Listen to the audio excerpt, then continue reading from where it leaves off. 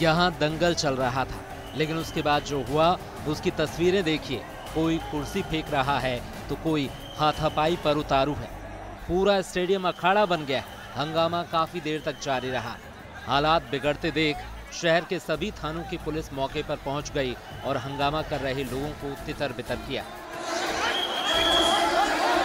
कल कोतवाली थाना क्षेत्र में दिलीप राव बोरकर उर्फ़ दिल्लू पहलवान ने दंगल का आयोजन करवाया था, उसकी अनुमति भी ली थी उन्होंने और कल राम रात को हम ड्यूटी पर थे।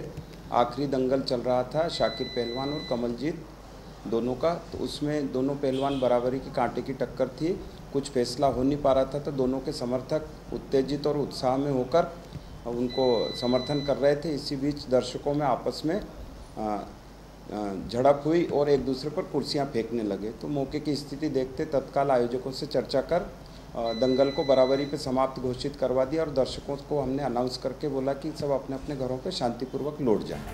दरअसल यहाँ के क्षीर सागर स्टेडियम में कुश्ती का आयोजन किया गया था। इस मौके पर दो पहलवानों के बीच दंगल चल रहा था। दोनों पहलवानों की कुश्ती शानदार थी, लिहाजा हार जीत का फैसला नहीं हो पा रहा था। इसी बीच दोनों पहलवानों के समर्थकों के बीच मारपीट शुरू हो गई और ऐसे हालात बन गए। उज्जैन से संदीप कुलश्रेष्ठ की रिपोर्ट।